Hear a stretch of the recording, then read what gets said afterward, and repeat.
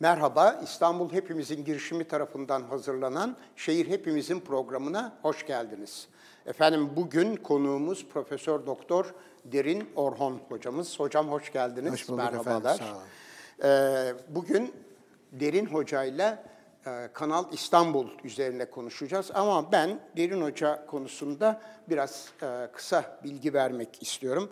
E, Derin hocamız 1965 yılından beri İstanbul Teknik Üniversitesi'nde görev yaptı ve İnşaat Fakültesi Çevre Mühendisliği Bölüm Başkanlığı, e, aynı zamanda Çevre Bilimleri Ana Bilim Dalı Başkanlığı'nın yanı sıra Çevre ve Şehircilik Uygar Merkezi ve Fen Bilimleri Enstitüsü müdür yardımcılıkları görevlerini de yürüttü. Ayrıca 1997-2007 döneminde yani 10 yıl boyunca e, İnşaat Fakültesi Dekanlığı görevini üstlendi. 2007 yılında kendi talebi üzerine emekli oldu. Halen Bilim Akademisi'nin asli üyesidir.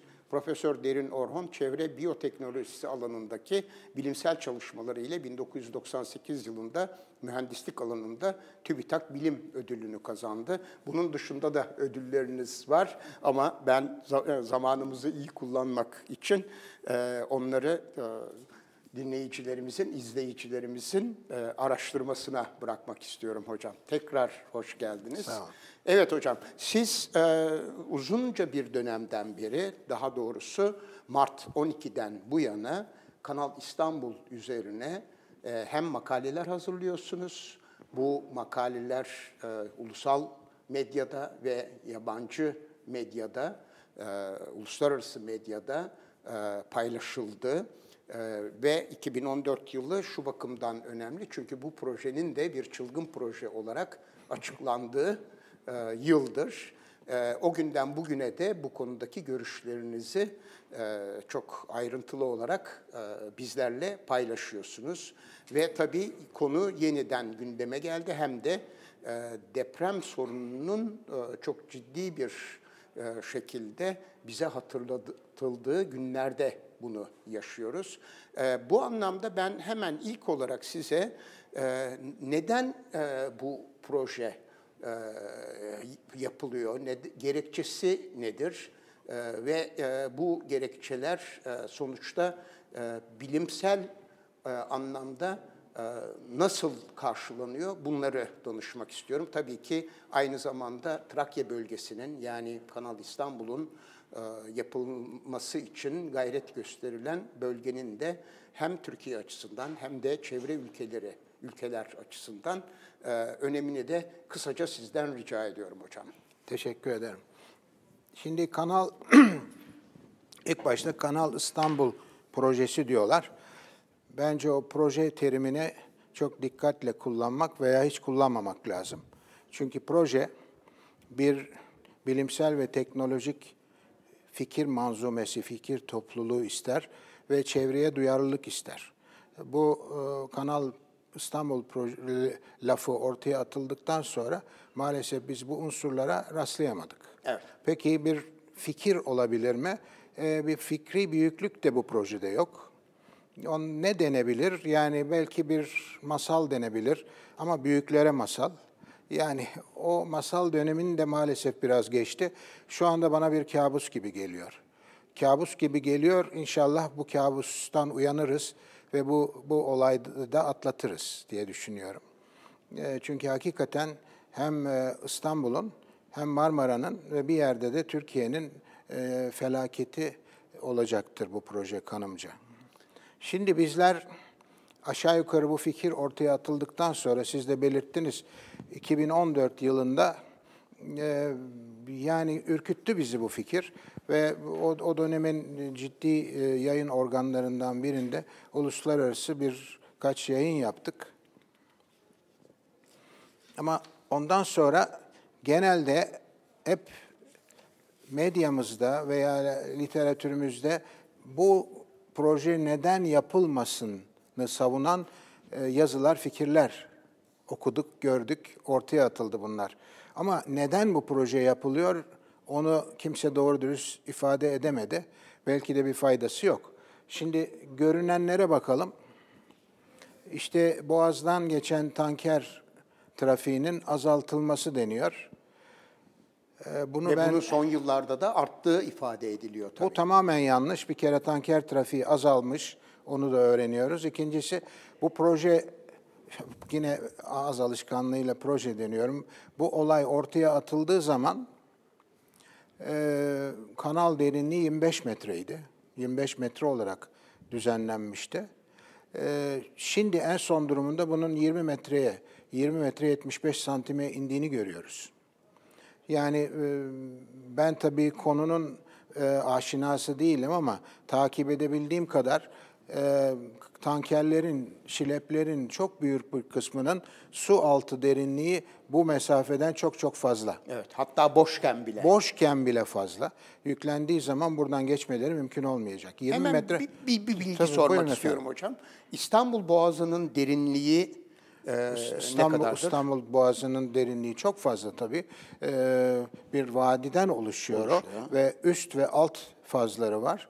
Yani üst akıntı biliyorsunuz Karadeniz'den su alır. Alt akıntı da tersine bir şeydir. Yani her türlü trafiğe açık doğal bir yapıdır ve tarihinin on- on- en az 12 bin yıllık olduğu söylenir. Yani doğanın yarattığı bir vadidir. O vadiden sular akar. Evet. Ee, şimdi e, tankerlerin buradan geçmesi bence pek mümkün değil, zor. Ee, peki o insanın aklına başka bir şey geliyor. Yani savaş gemileri falan geçebilir mi? O konuda uzman değilim, bilemiyorum ama aynı sorun onlar için de varmış gibi geliyor. Ee, yine bir başka fikir geliyor. Acaba burada çok ciddi bir rant mı yatıyor diye. Şimdi bu rantı şu şekilde yorumlayalım. Orada 1.1 milyon 250 bin bir nüfus oluşacağını zaten rapor söylüyor. Evet. Ee, İstanbul Belediyesi e, ifadelerinde bunun en az 2 milyona taşınacağı ifade ediliyor. Ee, şehirciler de bunu böyle söylüyorlar. Şimdi ben inşaat mühendisi kökenim de olduğu için çok basit bir hesap yaptım. Orada yapılacak bu nüfusu barındırmak için yapılacak konutlarla ilgili bir hesap yaptım. Yani hesabı o kadar altta tuttum ki beni İnşaatçılar Birliği aralarına kabul etmezler. Yani o hesabı kabul etmezler. Yani ortada çarptığım, böldüğüm zaman ben e, en az 20 milyon dolarlık bir kar görüyorum burada. Bu Oraya e, binalar bunu yapılıyor. yapılacak. Bunlar yani satılacak. şöyle hesap ettim. Dedim ki metrekaresini 1000 dolara satış koysak biliyorsunuz İstanbul'da İstanbul'da 10 bin dolara satılan yerler var. 1000 dolar çok mütevazi bir rakam. İşte bir kişiye de 25 metrekarelik bir alan ayırsak ki o bir aileye 100 metrekarelik bir ev anlamına geliyor. Bu çarpma bölme işlemlerinden sonra ortaya 120 milyon milyon milyar Türk lirası civarında bir rant kalıyor. Bunun yarısı kar olsa e, 20 milyon dolarlık bir kar ifade ediliyor. E, Bu aslında belki iki ile katlanabilecek bir kar. Şimdi şöyle düşünelim. E, Yani karlı bir proje gibi görünüyor değil mi? İfadelere göre, resmi ifadelere göre 75 milyar lira harcayacağız. E buradan da, Karşılığında? buradan da buradan da yani 120 milyar kar edeceğiz. Ama e, müsaade buyurulursa bu 75 milyarı biz cebimizden vereceğiz. Yani devlet verecek bunu. Bu 120 milyarı da o bölgenin arsa sahipleri ceplerine koyacak. Dolayısıyla cepler birbirinden çok farklı. Biz zarar edeceğiz, bizim sırtımızdan birileri kar edecek Kâr eğer sena- senaryo doğruysa. Evet. Dolayısıyla bunun e, bir karı yok. E, Ülkeye baktığımız zaman, bölgeye baktığımız zaman oraya sağlayacağı hiçbir yarar görünmüyor. Ve götüreceklerine de ayrıca değineceğiz Onlara tabii. onlara geleceğiz, hepsine göreceğiz. Yani yani bu bir e, cinayet diyor belediye başkanımız.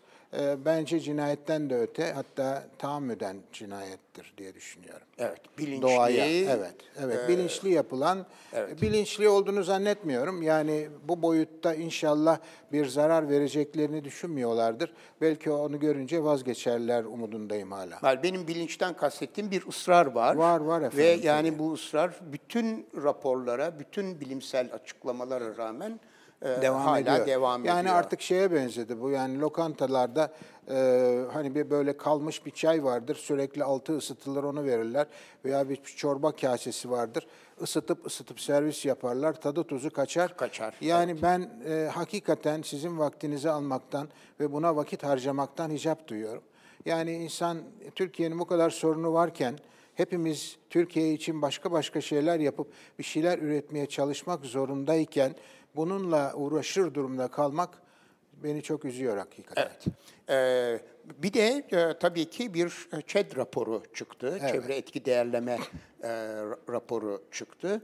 E, bu raporun e, hazırlanışı e, konusunda da bir kısa bilgi rica edebilir miyiz sizden? Tabii efendim. Daha doğrusu normalde bir ÇED raporu nasıl hazırlanmalı? Doğru, Kriterleri neler olmalı? Evet. Bir de hazırlayanların da liyakatı ne olmalı? Doğru.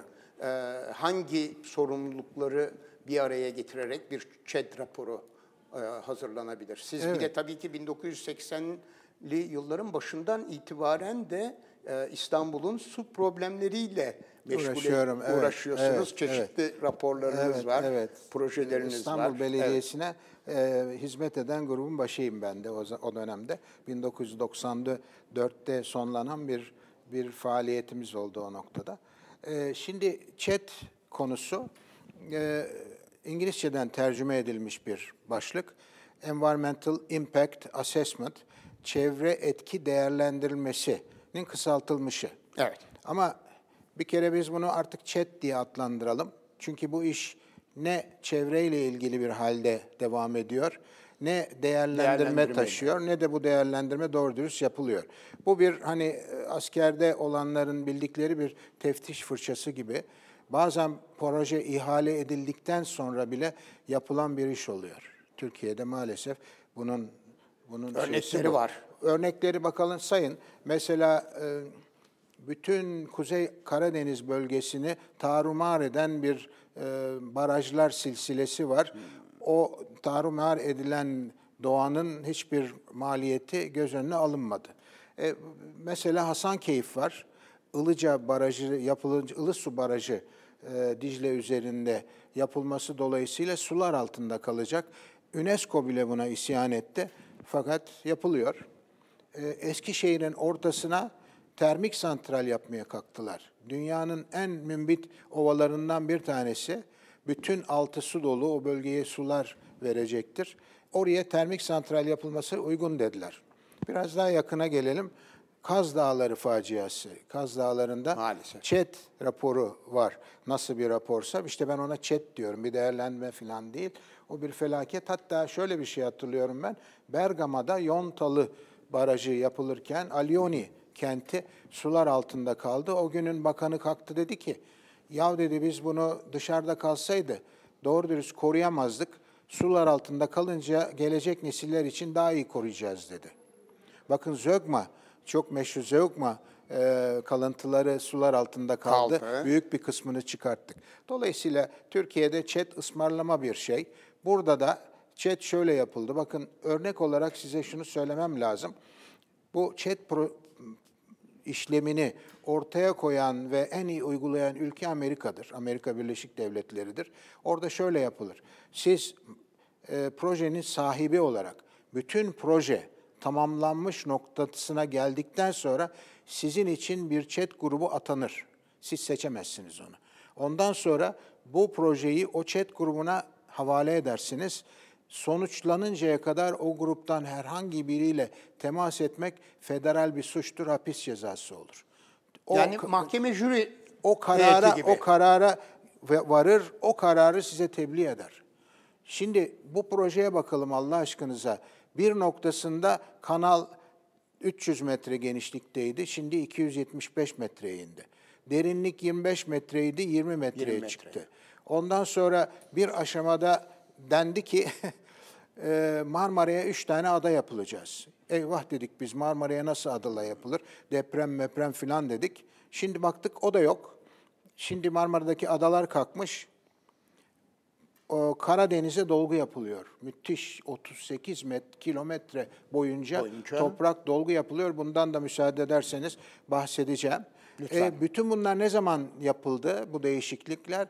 Çet işlemi süresince yapıldı. Yani bir taraftan çet işlemi yürüyordu, bir taraftan da bu değişiklikler yapılıyordu. Böyle bir şeye çet denmez. Bu komedidir. Bir yanlışlıklar komedyasıdır. E, dolayısıyla Türkiye'de çet mekanizmasını yok hükmünde saymak icap eder. Evet. Ee, hangi uzmanlar e, chat raporunu hazırlamalı hocam? Şimdi efendim, e, ÇED raporuna göre 200 uzman çalıştırmışlar, bilim adamı. Diyorlar, ben isimlerine rastlamadım, onların hiçbirini de tanımıyorum. Evet. Ama ben... Bir liste var. e, Yani ben dikkatli bakmadım, o listeyi de görmedim, eminim vardır. Ama e, o listeye baksam da ben eski olduğum için bu konuda uzman sayılabilecek, bu konuda görev alması gerekebilecek e, bütün kurum ve kuruluşları biliyorum. Evet. Benim bildiğim Türkiye'de uluslararası üne sahip, değişik disiplinleri temsil edebilecek hiçbir bilim adamı bu çalışmalarda Görev almalı. görev almış değil. Ben şöyle bir liste hazırladım. Belki kamera ona şöyle bir bakabilir. Belki ben tutarsam. Evet yani daha 10 18 alan gerekiyor. Önemli değil. Çok fazla görülmüyor. Evet. Bunların her birinde her birinde çok uzman kişilerin görev alması lazım. Yani çevre bilimlerinden başlıyor, deniz hukukuna giden e, Evet, Bil- ben bilim hızlı dalları. okuyabilirim Tabii, bunu. buyurun efendim. Çevre bilimleri, çevre teknolojileri, hidrodinamik, sediment taşınımı, hidrolik, yeraltı suyu dinamiği, hidrojeoloji, su kaynakları, zemin mekaniği, malzeme bilimi, sismoloji, deprem mühendisliği, tarım, deniz bilimleri, deniz yapıları, kentsel planlama, çevre hukuku ve deniz hukuku. Evet. Ve bunların bunları temsil edebilen uluslararası üne sahip Türkiye'nin mümtaz kendini kendini bu alanlarda ön plana atmış bilim adamları var. ve bunların hepsi Bun- bunların bu, mevcut. bu, bu, bu A kadro olarak bunların B kadrosu da var. Ama bunların hiçbirini ben o çalışan kadroda göremedim. Göremediniz. O o gruptan olduğunu e, bir şekilde il- ilişkili olduğunu düşündüğüm bir kişi kalktı. En son Karadeniz patlar matlar diye bir ifadede bulundu biliyorsunuz televizyonlarda. Evet. Boğazı bu uçurur dedi. Peki Boğaz uçunca bu kanalda uçmaz mı dedi. Ha dedi evet o da uçabilir bakın dedi filan. Yani e, bu tür bilimsel bir şeyler oluyor, görüşler oluyor. Ben ciddiye almıyorum dolayısıyla. Evet. Bu demek değildir ki bu ÇED içinde bölüm bölüm bazı kısımlar e, iyi bir çalışmadan geçmemiş Doğru olsun. olmasın. Evet yani onlar var tabii. Onlar özellikle hidrodinamik yapının ortaya konması ciddi bir Fransız şirketi tarafından yapıldığını biliyorum. Arkadaşlarla da görüştüm. Yani e, eminim e, düzgün yapılmış tarafları vardır. Evet. Ee, bu proje uygulandığı ta- takdirde e, ekolojik olarak neleri kaybedeceğiz biz? Nelere etkisi olacak hocam? Evet. Şimdi bakın ilk başta başlayalım. Biz İstanbul, bu son zamanlarda biliyorsunuz İstanbul'un su durumu çok tartışılır oldu. Hatta dendi ki İstanbul'un 3 aylık suyu var, var, yok. Bilmem 2041'e kadar İstanbul'un suyu vardır, yoktur. Şimdi İstanbul biliyorsunuz yağmur suyuna bağlı bir su yapısına sahip. Yani İstanbul zengin doğal kaynaklara sahip bir e, metropol alanı değil. Su içinde bu böyle, diğer diğer kaynaklar içinde bu böyle. Ve yağmur suyunu depolayan ve ondan sonra da kullanan bir mekanizma var. Yıllarca böyle devam ediyor. Son zamanlarda Melen'den su getirme işi de başladı. Şimdi bu noktadan ele alırsak, bir kere bu proje İstanbul'un batısındaki yani Trakya'sındaki çok önemli iki su kaynağını ortadan kaldırıyor veyahut da çok önemli risk altına atıyor. Bunlar hangileri? Bunlardan bir tanesi Sazlıdere Barajı. Barajı. Sazlıdere Barajı, barajı yok oluyor. Evet. Bakın Sazlıdere Barajı 88 milyon metreküp su kapasitesine sahip. Evet. Bu yaklaşık 1.2 milyon kişinin İstanbul'da suyunu temin edebilecek bir potansiyel demektir. Bu İstanbul'un su ihtiyacının %8'i demektir. Bu yok oluyor. Sazlıdere Barajı yanında hemen doğu, batısında Terkos Barajımız var, Terkos Gölümüz var.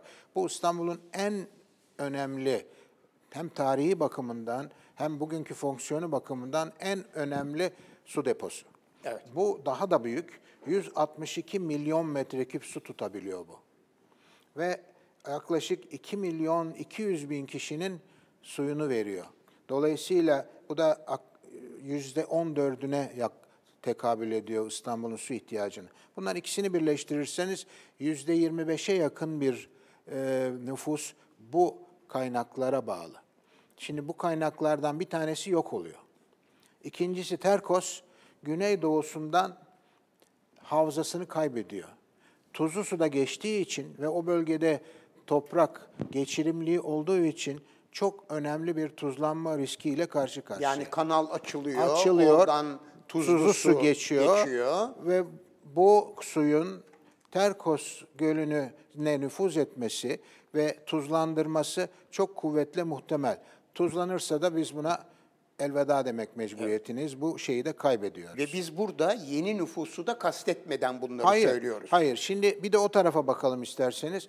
Bir buçuk milyon metreküplük, e, şey bir buçuk e, milyonluk bir nüfustan bahsediyoruz. Evet, yeni iki, bir kent. Iki, iki olabilir bu. Şimdi buna baktığımız zaman buna günde 270 bin metreküp su vermek lazım. Yani yıllık olarak bakarsak 100 milyon metreküplük bir ayrıca depo lazım. Şimdi ne yapıyoruz biz demek ki özetle? Sazlıdere Barajı 88 milyon metreküp onu yok ediyoruz. Terkos Gölü 162 milyon metreküp onu da tehlike altına atıyoruz. Ayrıca bir başka ihtiyaç doğuruyoruz. O ihtiyaçta yaklaşık 100 milyon metreküp. Evet. Peki ne var burada? Büyükçekmece Gölü var diyecekler. Büyükçekmece Gölü'nün e, de, e, depo hacmi yaklaşık 150 milyon metreküp. Kullanılan su hacmi geçen sene 2018'de 89 milyon metreküp su kullanılmış. Yani özetle biz iki barajımızı kaybetmemizin yanında Büyükçekmece Barajı'ndaki suyun bütününü bu yeni gelen nüfusa tahsis etmek zorundayız. Demek ki biz e, özellikle yaz aylarını susuz geçireceğiz bu kanal olsun diye. Evet. Şimdi e, bu bir kere İstanbul'un su bilançosuna vurulmuş, tamiri mümkün olmayan çok derin bir yaradır. Bunu bu şekilde kabul etmek lazım.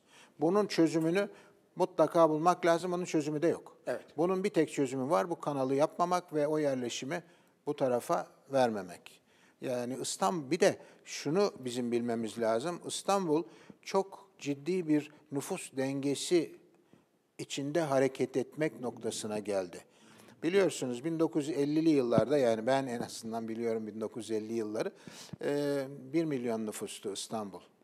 Şimdi 15 milyonu geçti. geçti. Sayın Başkanımız 16 milyon İstanbulluya hitap ediyor hep biliyorsunuz. Evet. Şimdi 2009 yılında çok önemli bir şey oldu İstanbul'da. Bunu iyi bilmek lazım. 1 bölü 100 binlik çevre planı kabul edildi. Bu çevre planı 4 sene sürdü bu çevre planı. Bu 4 sene boyunca yaklaşık 400 bilim adamı çalıştı. Bizzat belediye başkanı ve e, Sayın Cumhurbaşkanımız, şimdiki Cumhurbaşkanımız buna nezaret ettiler. Ve sonunda 2009 yılında oy birliğiyle kabul edildi bu çevre planı. Başka bir ülkede muhalif, muafık, e, e, oy birliğiyle kabul edilmiş bir çevre planı yok. Evet. Bu, bunun üç prensibi vardı. Bir, şehir nüfusu 15-16 milyondan hiç yukarı çıkmayacak. İki, e, doğu-batı yönüne ilgili, ilerleyecek şey. Kuzey, Kuzeye- kuzey, kuzeye Yapılaşma yapılaşma olmayacak. olmayacak. Bir de üçüncü havalimanına ihtiyaç var. Onun da yerini saptadı. Bu da bu da Silivri. Silivri. Evet. Şimdi dolayısıyla bunları saptadı. Şimdi bunun onun üzerine ne yapıldı? İstanbul Havalimanı yapıldı. Üçüncü köprü yapıldı. Bunların hiçbir planda yaptı. otoyolu e, o Kuzey yapıldı, yapıldı. e, Marmaray yapıldı. Bunların hiçbiri yoktu. Bunların hepsi bu plandan sanki başkaları yapmış gibi bu planı plandan farklı bir şekilde yapıldılar. Ve tarihten bahsetmiyoruz hocam 10 yıl. Tabii tabii. Yani 2009'da kesinleşmiş halen olan yürürlükte, bir- halen yürürlükte bu. Evet. Bu plan göya. Şimdi benim hesaplarım yani bütün doğal kaynaklarına bakarak bu doğal kaynakların içinde İstanbul'un mıcır yani taş, kırma taş ihtiyacı bile var. Eğer nüfus 16, 17, 18 milyona ulaşırsa İstanbul doğal kaynaklarını bitiriyor. tüketiyor. İki- y- 20 milyon İstanbul'un İstanbul'un çöküşü oluyor. 25 milyon İstanbul'un yok yok yok oluşu oluyor. Evet. Yani demek ki o, o noktada kritik bir dönemdeyiz İstanbul için. Yeni bir nüfus yaratmak, nüfus bölgesi yaratmak gibi İstanbul'u ortadan kaldırma ya dönük bir işlem yapılamaz. Bunun en önemlisi budur. İstanbul'un en büyük tehlikesi şu anda nüfus. Evet. Bunu Ki göz önüne almak lazım. Bir deprem riski olduğu kesin. tabii yani. Ee, ayrıca bütün dünyada en ciddi sorun e, iklim krizi. Tabii. Ee, bütün bunların üzerine siz yeni ekstra e, riskleri bindiriyorsunuz. Alıyoruz, evet. Ve e, hem e, bölge nüfusunu arttırıyorsunuz Evet. hem de e, bütün kaynakları da tüketiyorsunuz.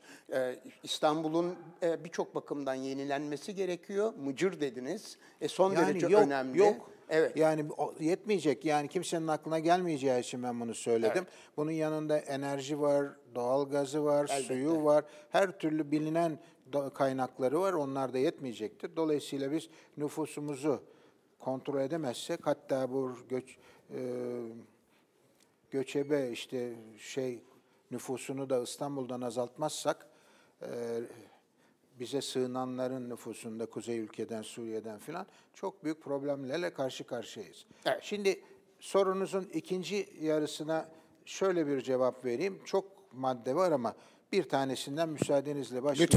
lütfen. Şimdi bu işin yapılması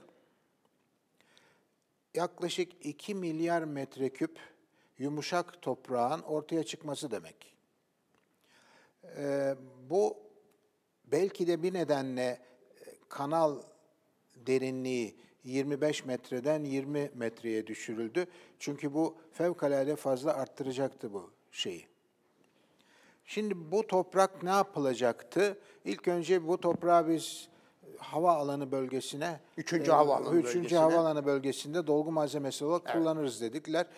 Fakat o geçti, bunu yapamadılar. Öyle bir şey olmadı. Şimdi yasal olarak ne yapabiliriz? Bir ona bakmak lazım. Bakın e, şu anda e, elimde hafriyat toprağı, İnşaat ve yıkıntı atıklarının kontrolü yönetmeliği var. Bu çevre kanununun 8, 11 ve 12. maddelerine e, uygun bir şekilde çıkarılmış. Onların gereği olarak çıkartılmış. Bunun tarihi nedir hocam? Efendim bunun tarihi 18.3.2004. Evet. Şimdi 13. maddesine bakıyorum. Bütün bu atıklar denizlere, göllere, akarsulara veya herhangi bir yere dökülmesi ve dolgu yapılması yasak olan atıklardır. 13. madde böyle diyor. Evet. Demek ki bu yasak. Bu ne demektir? Ben bir ev yapsam, hafriyat çıkarsam, götürsem bir mavna tutsam, onu denize atsam ben hapse girerim. Hakkınızda Ee, ben, takibat e, başlar. Başlar. Evet. Şimdi e, aslında bir de bir sorun da ben müdahil oldum. O da bu metro köprüsüydü. Astaldi firması, yabancı bir firmayla bir Türk firmanın ortaklığında bu kazıkların ve e, köprü ayaklarının yapılmasından çıkan Haliç'teki cü- köprüden Haliç'teki köprüde cüzi miktarda hafriyat atığı çıktı. Araştırdık, soruşturduk, İSKİ görüştük vesaire ve haklı olarak dedik ki bunu buraya atamazsınız. Denize atmanız söz konusu değil. Hatta o zaman işte Marmara Adası'nın civarında bir yere atılması söz konusu. Kesinlikle bu yasal değil dedik. Bunu siz e, uygun koşullara getireceksiniz ve bir depo yeri tahsisi isteyeceksiniz, oraya götüreceksiniz.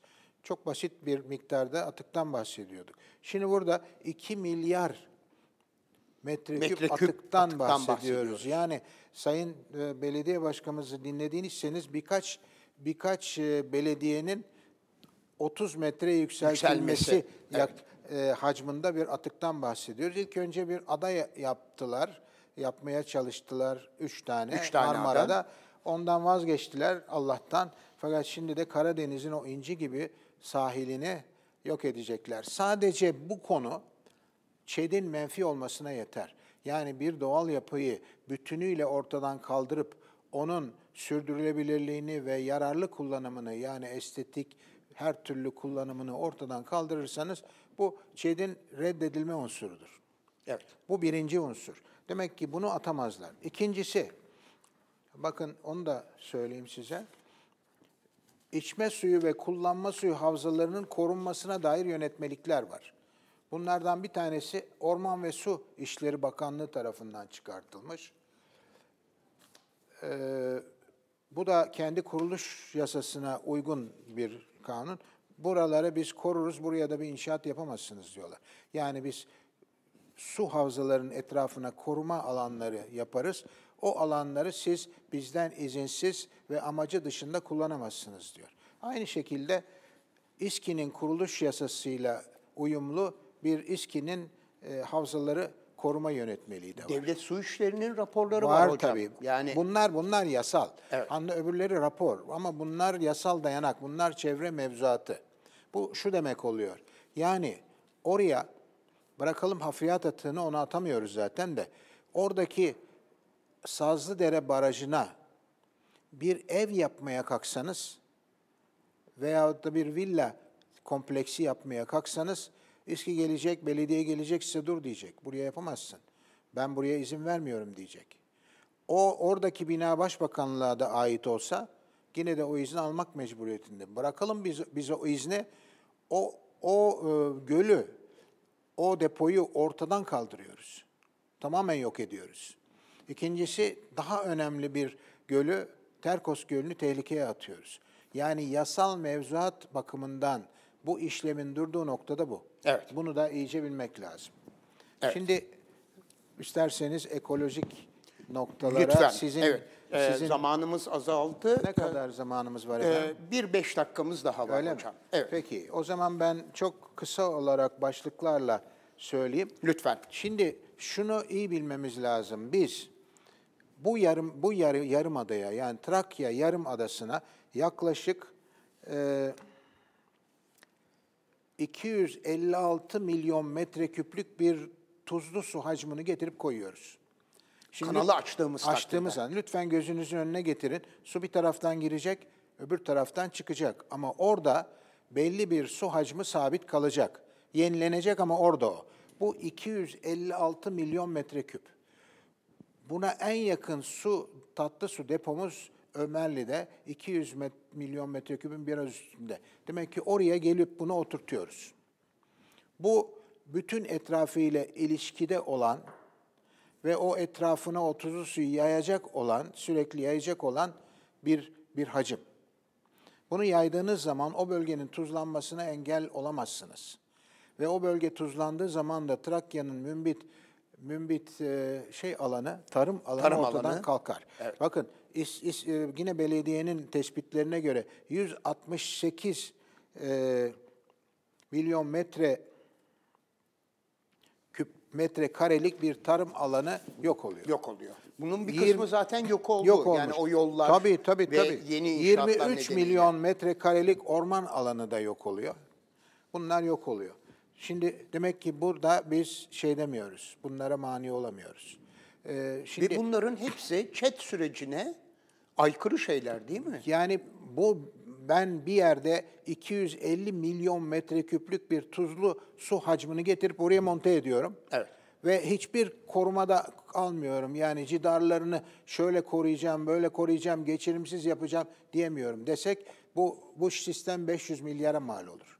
Bu kadar 45 met kilometre uzunlukta, Uzunluğundaki. e, iki- 250 metre genişliğinde, Bazı yerlerde daha, 300 daha metre. fazla genişliğinde bir yeri biz koruyamayız. Bakın öyle bir öyle bir sorunumuz var. Evet. İkinci çok ciddi sorun ekolojik olarak. Şimdi biz bütün bu hafriyatı getiriyoruz, yasalları da boş veriyoruz ve Karadeniz kıyısını mahvederek oraya dolduruyoruz. Yumuşak bir topraktan bahsediyoruz. Gözünüzün önüne Karadeniz'i getirin o dalgaları.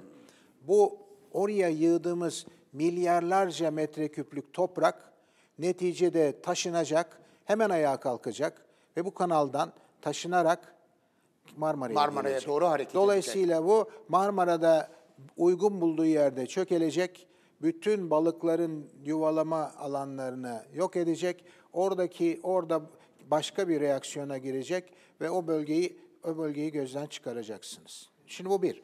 Onun dışında ne yapıyoruz? Demek ki oraya koyduğumuz dolgu alanının hiçbir güvenirliği yok. O dolgu alanı hareket edebilir, Marmara'ya taşınabilir.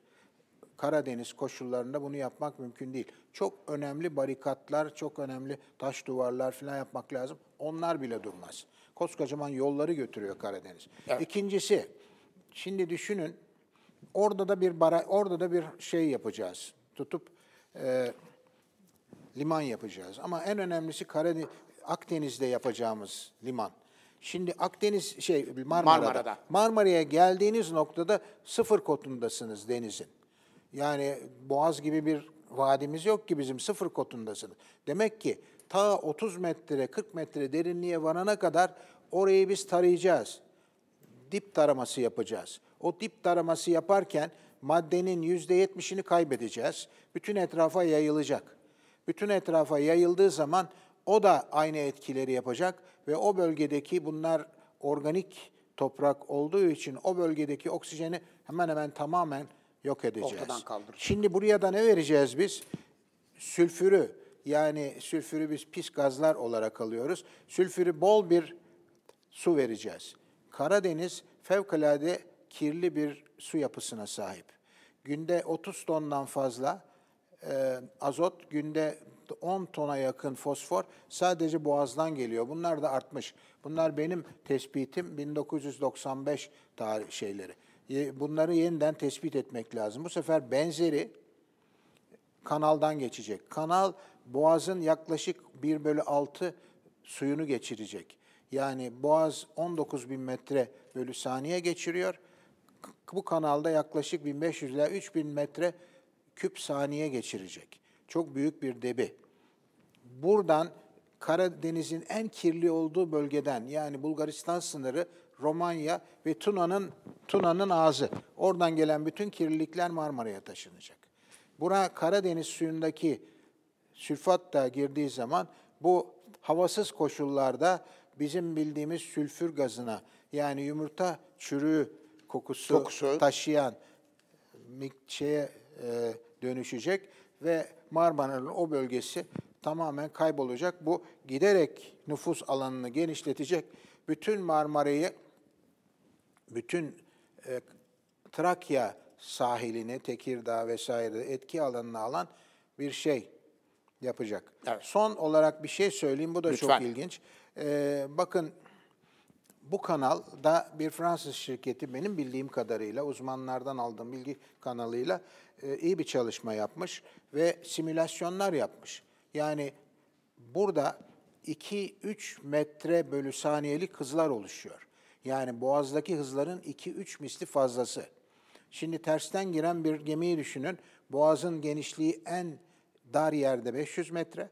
Ondan sonra kilometreye çıkıyor. Halbuki burada 200 metre.